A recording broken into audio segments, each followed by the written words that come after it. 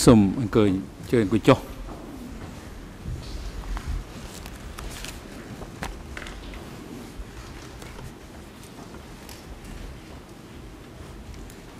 ông như đây cả một tổ lâm na ca nên tệ thì sợ na ca, tổ đất tiết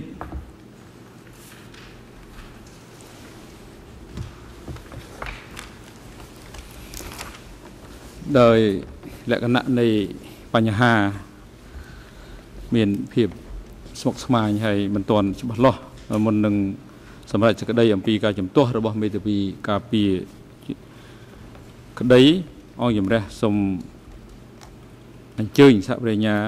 ឡើងបង្ហាញអំពីខ្លឹមសារនៃឯកសារទាំង9ពីព្រោះ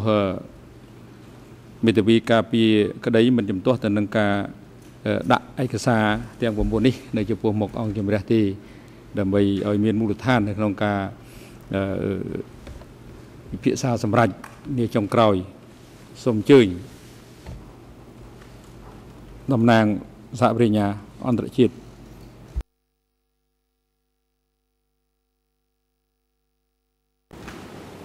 Thank you Mr President សហប្រញ្ញាសូមអរគុណលោកប្រធានអញ្ជើញ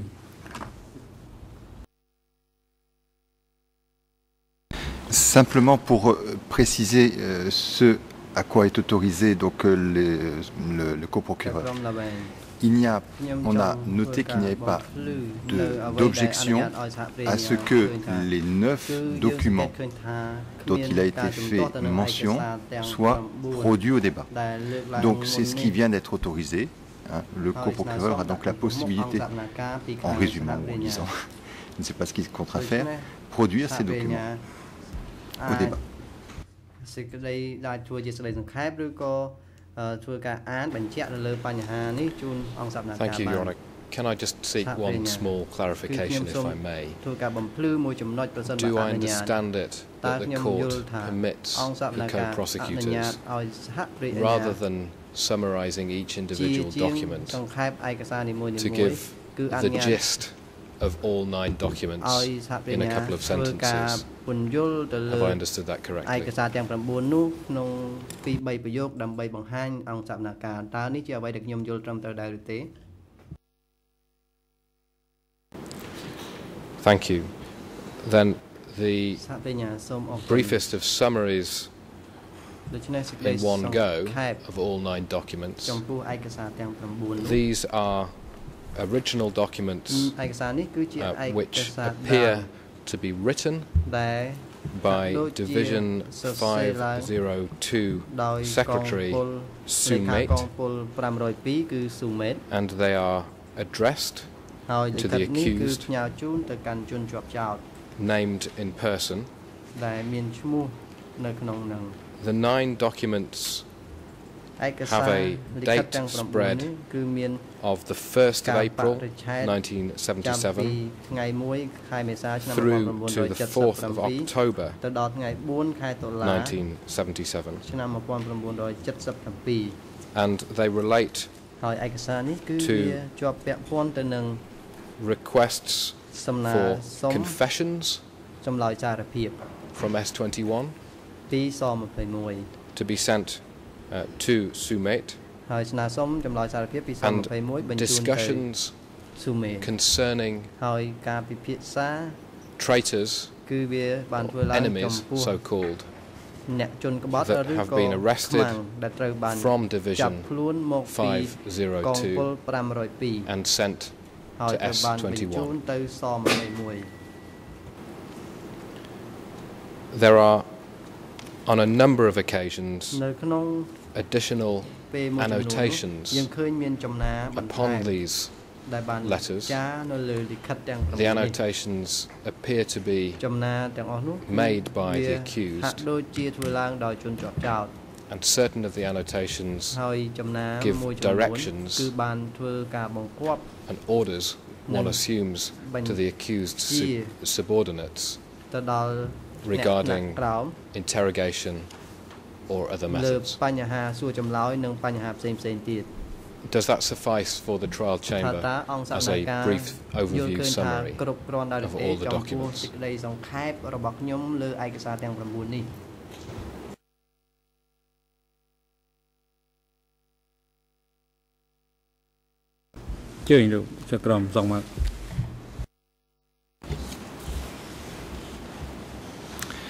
Alors, il semble qu'un certain nombre de documents qualifiés de télégrammes soient déjà annexés au rapport de M. Hutchinson. Est-ce que les documents dont vous venez de faire état comprennent déjà ces documents annexés au rapport? Est-ce qu'ils sont différents? Et s'ils sont différents, est-ce que vous pouvez nous donner les références exactes? របាយការណ៍របស់លោក Atchison ឬយ៉ាងណាប្រសិនបើឯកសារនោះវាខុសពីឯកសារដែលមាននៅក្នុងឧបសម្ព័ន្ធសូមឲ្យលោកផ្ដល់នៅលេខ ERN ឬក៏លេខយោងទៅលើឯក Yes, សារ of នេះ course. សហប្រញ្ញា The Chica, but- documents annexed ឯក to សារនេះ Dr. គឺវា Etchison's ភ្ជាប់ទៅនឹងរបាយ written ការណ៍ report របស់លោក are Atchison included in the nine documents ហើយវា the ឯកសារទាំង9 co-prosecutors នេះគឺ wish វា to មាន put បញ្ចូលនៅ before ក្នុងនឹង the ដែល court. សហប្រញ្ញាមានបំណងក្នុងការដាក់ And ជូន as អ I- ងសកម្មការ Donc, Est-ce que ces documents correspondent au bas de page numéro 285 et 286 je crois que la, 200, la, note de bas de page 285 concerne deux documents et 286 un autre document.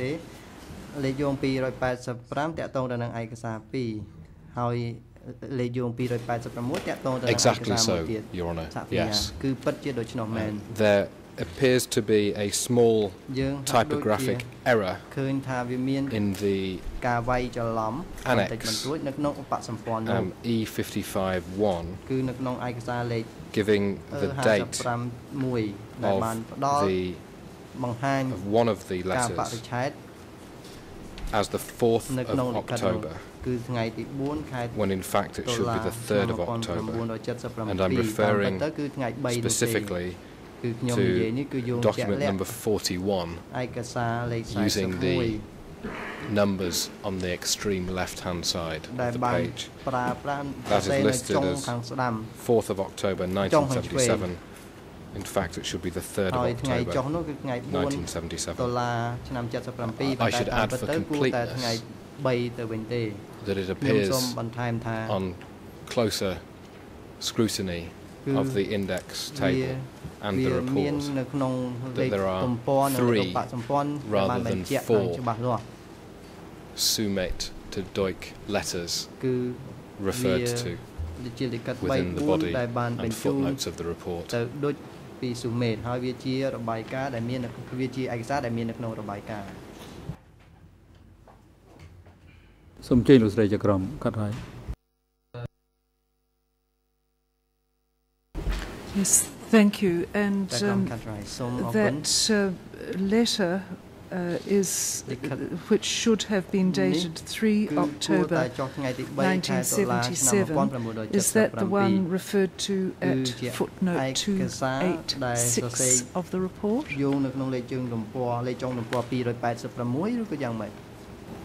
If Your Honour would allow me a, a brief moment. តគឺខ្ញុំនឹងធ្វើការត្រួតពិនិត្យមើលទៅលើបញ្ហានេះបន្តិច Yes, it is. បាទគឺត្រឹមត្រូវហើយគឺលេខ286 And uh, again, to clarify ជាថ្មីម្ដង further, ទៀតដើម្បីធ្វើការ uh, បំភ្លឺ the បន្ថែមទៅលើ three ចំណុចហ្នឹង documents mentioned in Ai, cái footnotes sạc bay, 285 and យោងនៅក្នុង 286 ឯកលេខយោង are described 285 there និង as telegrams 86 rather គឺ than letters. រៀបរាប់ Is អំ that ពី correct? ទូរលេខមិនមែនជាលិខិតទេតើត្រឹមត្រូវដែរឬទេ Yes, that's ថាប correct. ញ្ញាគឺត្រឹម And ត្រូវ um, were in Sa- general the Jagrong, subject Chi of a tu tới. question that Iបញ្ហា put toចោទ Dr. Etchison ដែល someខ្ញុំ days ago លើក when ឡើងចំពោះ I លោកអេតិសិន asked ប្រហែលថ្ងៃមុននោះនៅពេលដែល if ខ្ញុំ uh, សួរថាតើ any of those who had been arrested អ្នកដែលត្រូវបាន and គេចាប់ dispatched ខ្លួននឹង Two S 21 from military units were accompanied by uh, material uh, which uh, contained instructions or advice concerning their offences, their alleged offences. Is that, have we, have we connected the right material? Yes. Thank you. Thank you, Mr. President. សូមអរគុណលោកប្រធាន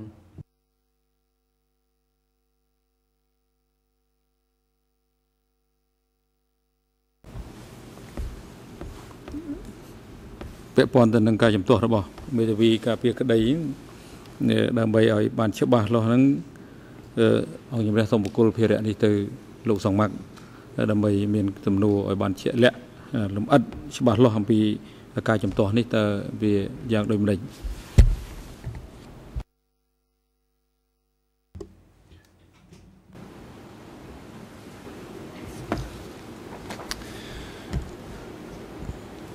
crois que tout d'abord, il importe de souligner une situation un peu particulière, c'est que nous avons commencé à interroger l'expert avant d'interroger l'accusé. Donc maintenant que ces documents sont versés euh, au débat, qu'il n'y a pas eu d'objection concernant la recevabilité, il semble être opportun que l'on commence par interroger l'accusé avant d'interroger l'expert. C'est une, le éventuellement en rediscuter. Tous les cas, ce qui est certain, c'est que les documents annexés au rapport ont été considérés comme étant. Ils servent de fondement au rapport d'expertise de M. Hutchison. Donc, est-ce que la défense nous indiquait si elle entend objecter à des questions posées par l'accusation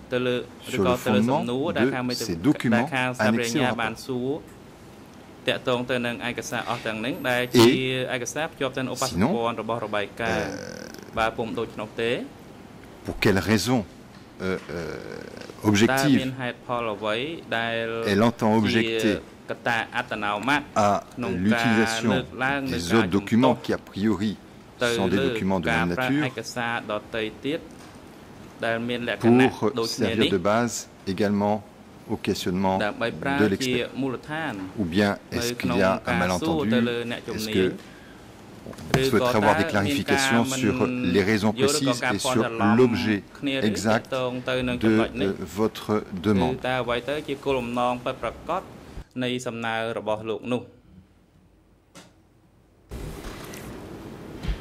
Merci, Monsieur le juge. La défense confirme dans ce qui concerne les documents qui étaient annexés au rapport d'expertise de M. Etchison, il n'y a aucune objection. Pour que l'expert soit interrogé sur ces documents dès lors qu'il faisait partie de son rapport. En ce qui concerne les autres documents, la défense dit le problème vient de ce que M. Etchison a eu connaissance de ces nouveaux documents alors qu'il était impliqué avec l'accusation comme fonctionnaire du bureau du lors de la procédure d'instruction. Je ne vois pas, alors qu'il a conseillé le bureau des procureurs, puisque tel était le rôle que je comprends. Alors qu'il a conseillé le bureau des procureurs sur ces documents. Alors qu'ils en ont discuté forcément ensemble pendant l'instruction. Je ne vois pas comment, à propos de ces documents-là, de ces documents nouveaux, je ne vois pas comment l'expert peut faire preuve d'impartialité. Il est impliqué directement comme faisant partie du bureau de l'accusation. C'est ça mon problème. C'est pas autre chose. Mon problème là. Alors, pour être essayer d'être encore plus précis. Ce que je crois comprendre, mais peut-être me trompe. Vous, vous nous dites qu'en fait, ce sont les réponses éventuellement de l'expert qui sont susceptibles de devoir être prises avec circonspection. Ce que vous nous dites, c'est que les réponses à ces questions par l'expert devront être éventuellement d'une façon différente compte tenu de la position qu'il occupait au moment où ces documents ont été versés au dossier. Mais est-ce que pour autant vous objectez à ce que les questions puissent être posées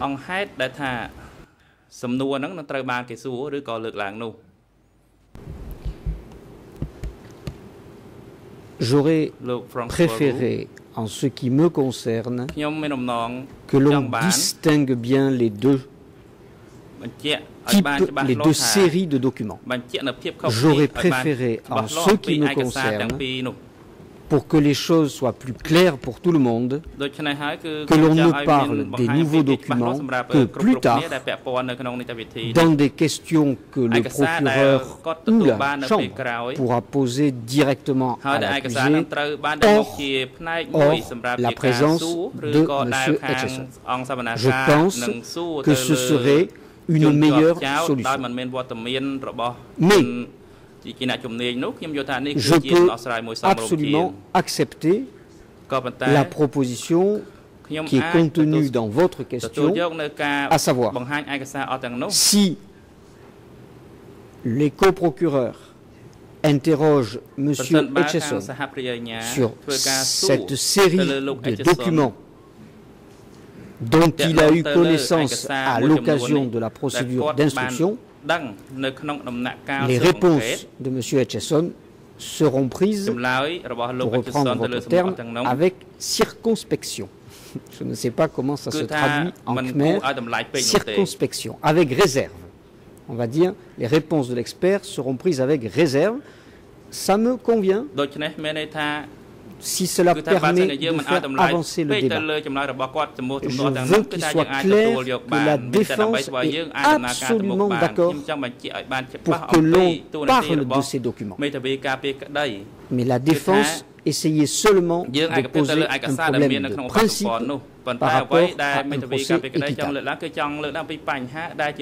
Sur le fond, la défense est absolument d'accord pour que l'on parle de ces documents, pour que l'accusé soit interrogé sur ces documents. Je rappelle, qu'en ce qui concerne ces nouveaux documents, l'accusé a été entendu par les co-juges il a répondu aux questions. Donc il est prêt à répondre aux questions. C'était seulement une question de principe, étant donné les fonctions actuelles de M. Etchison. Je répète de ce côté de la barre que nous avons le plus grand respect pour les travaux réalisé par M. Etchison pendant des années. Nous avons le plus grand respect pour ses qualités d'expert, mais à partir de l'instant où il a été directement engagé avec les coprocureurs dans l'accusation contre Duke, il m'est difficile d'admettre que ses propos sont libres. Moi, je me rallie à votre proposition, monsieur. Donc, pour résumer, si vous est donné par la Chambre de vos réserves quant à la valeur probante des réponses apportées par M. Etchison, peut-on considérer que vous retirez l'objection soulevée précédemment je réponds clairement par l'affirmative pour ne pas retarder les débats.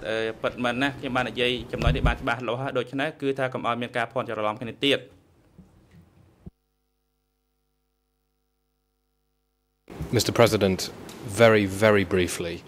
លោកប្រធានសញ្ញានិយាយខ្ញុំសូមឆ្លើយដល់ខ្លីទៅ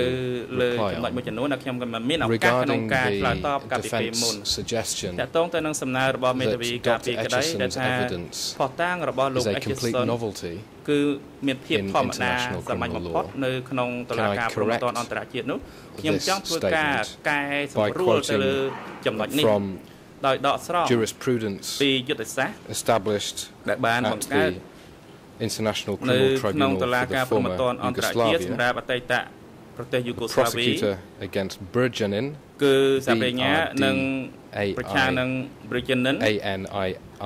sorry,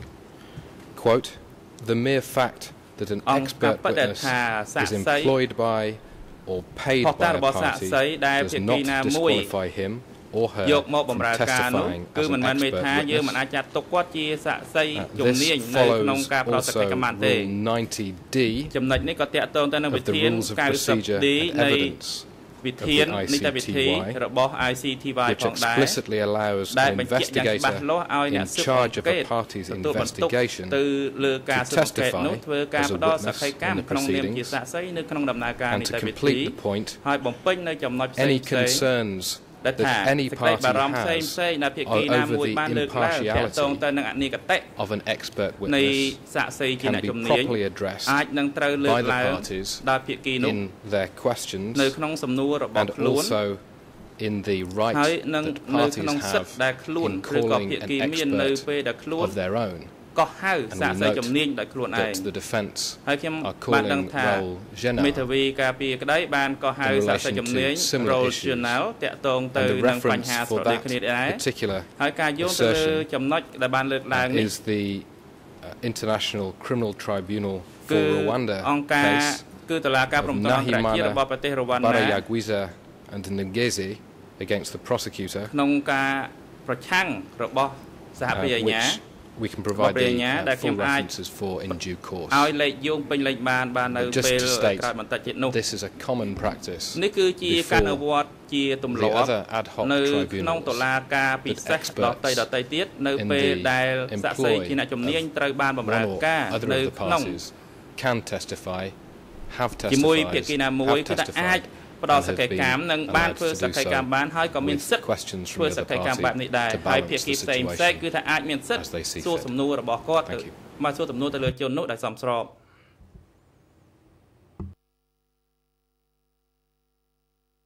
ជើញមេធាវី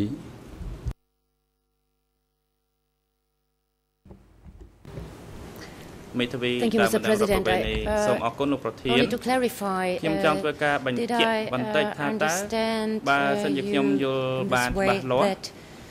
it depends on the moment of the knowledge មានន័យថានេះគឺអាស្រ័យទៅលើការដឹងអំពីឯកសារនោះមែនទេ បញ្ជាក់អំពីពេលវេលានៃការដឹងនោះ If so I think it could be helpful to ask បើដូច្នោះមែននឹងអាចជាប្រយោជន៍បើសិនជាយើងអាចសួរសាកសីថាតើនៅពេលណាទៅដែលគាត់បានដឹងអំពីឯកសារអស់ទាំងនេះ not all included in the report ដែលមិនមានបានបញ្ចូលទៅក្នុងរបាយការណ៍ហើយដែលវាមានភាពប្រហាក់ប្រហែលគ្នាឬមួយដែលគាត់ប្រហែលជាបានដឹងពីឯកសារអស់ក្នុងរួចទៅហើយនៅពេលដែលគាត់ របាយការណ៍របស់គាត់នោះឬក៏នៅកំឡុងពេលនៃការស្រាវជ្រាវរបស់គាត់មុនពេលដែលគាត់មកធ្វើការនៅជាមួយការិយាល័យសហព្រះអាជ្ញានោះសូមអរគុណ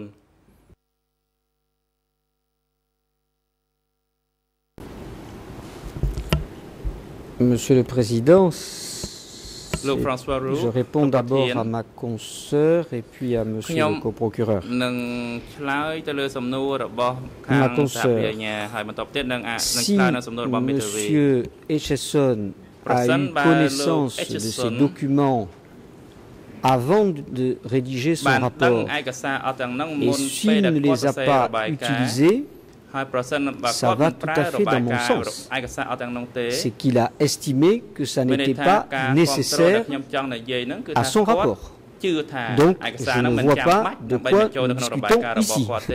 Il suffit de prendre les documents que M. Etchesson a sélectionnés pour son rapport et de nous en tenir là.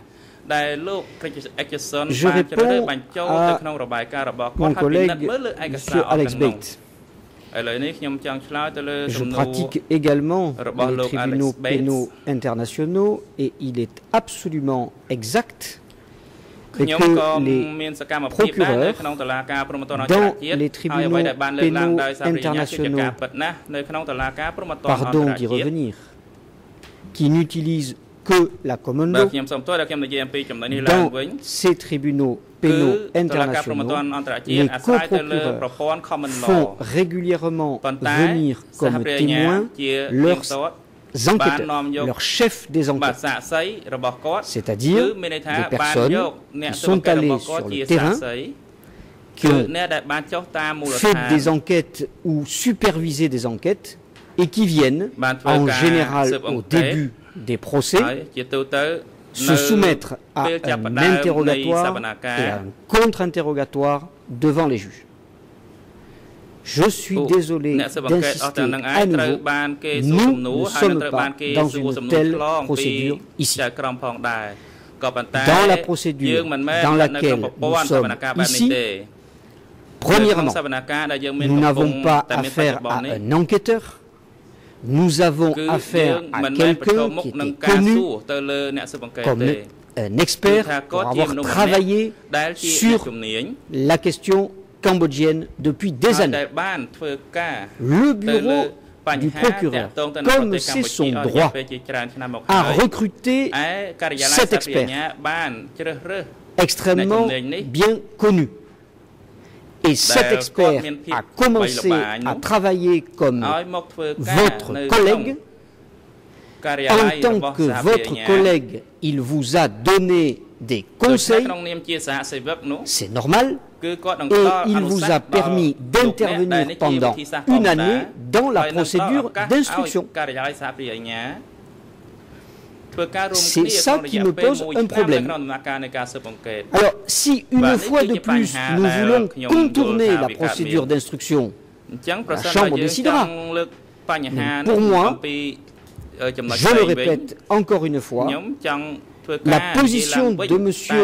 Hutchison, avant que ne commence l'instruction, c'est-à-dire jusqu'en juillet 2007, cette position, même s'il était déjà dans votre équipe, n'entache pas son expertise. Mais à partir du moment où il est intervenu à vos côtés pour poursuivre l'accusation, pourquoi pas mais alors ne me dites pas qu'il est aujourd'hui, sur cette période-là, un expert impartial. Et donc, je redis que je suis d'accord avec la proposition faite par M. le juge Laverne sur toute cette période de l'instruction, je suis d'accord qu'on prenne avec la réserve nécessaire les réponses qui seront données par M. Etchison. Ça ne porte nullement atteinte à son honneur et à sa dignité ça veut seulement prendre en considération que pendant cette période d'instruction, il a été votre conseiller. Et il faut appeler un chat un chat. Il était à votre service. Il vous a aidé à soutenir les accusations contre l'accusé. Disons-le clairement. Et je n'ai pas de problème avec cela dès lors que c'est dit clairement. Et j'ai exprimé la, semaine dernière qu'il faisait partie de votre équipe. Il ne faut pas se cacher derrière son petit doigt, dit-on dans mon langage.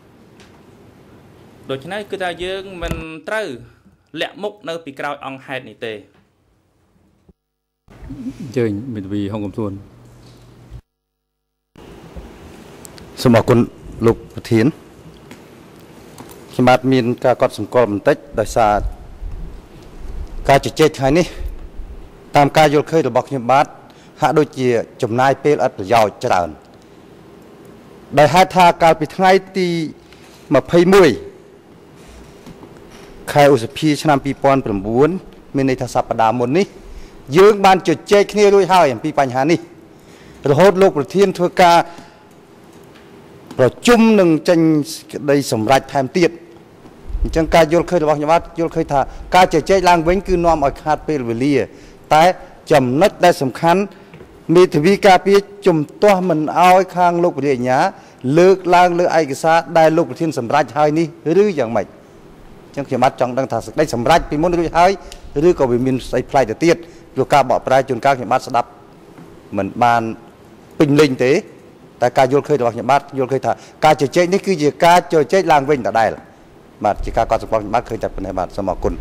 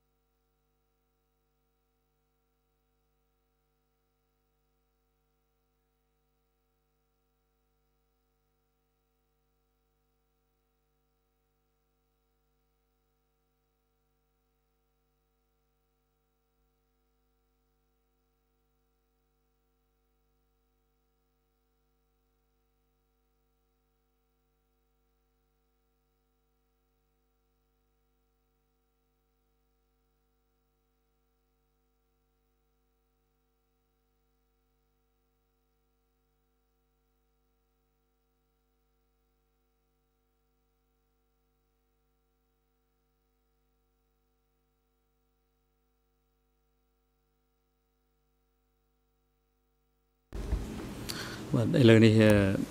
ដល់ម៉ោងត្រូវសម្រាប់ទៅពេលរសៀលហើយអញ្ចឹងអង្គជំរះប្រកាសផ្អាកដំណើរការសម្ដែងការថ្ងៃនេះត្រឹមនេះហើយសម្ដែងការនឹងលើកទៅបន្តនៅថ្ងៃស្អែកចាប់ពីម៉ោង9ទៅហើយអនុរិយមន្ទីរគុំខាំងនាំយុទ្ធចោតទៅកាន់មន្ទីរគុំខាំងវិញហើយនឹងនាំឲ្យនងគាត់មកកាន់បន្ទប់សម្ដែងការទៅថ្ងៃស្អែកវេលាម៉ោង9ព្រឹកហើយលោក ក្រែកអេជសិនដោយសារនីតិវិធីនៅបន្តទៀតអញ្ចឹងអង្គជំរះសូមអញ្ជើញលោកមកផ្ដល់សក្ខីកម្មនៅថ្ងៃស្អែកជាបន្ត